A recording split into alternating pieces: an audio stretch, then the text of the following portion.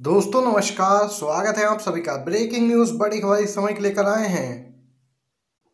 मोदी सरकार के राज में दिन पर दिन महँगाई बढ़ती जा रही है लगातार।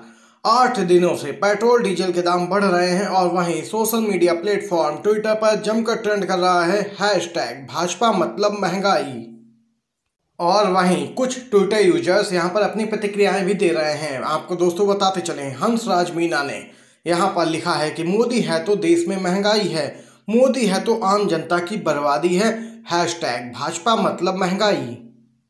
वहीं आम आदमी पार्टी ने ट्वीट किया है, मोदी सरकार की विशेष उपलब्धि जून 2014 तक भारत सरकार पर चौवन दशमलव नब्बे लाख करोड़ का कर्ज था, जो दिसंबर 2021 में बढ़कर 128 लाख करोड़ का हो गया है।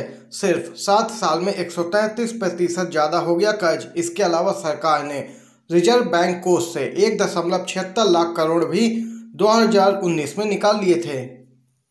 हैशटैग भाजपा मतलब महँगाई। देख सकते हैं, तमाम तरह की प्रतिक्रियाएँ सामने निकल के आई हैं दोस्तों। आपकी क्या कुछ राय है, ज़रूर बताइएगा कमेंट बॉक्स में। अगर वीडियो पसंद आया हो तो वीडियो को लाइक और शेयर भी कीजिए अपने दोस्तों के साथ। आप सभी का वीडियो देखने के लिए धन्यवाद।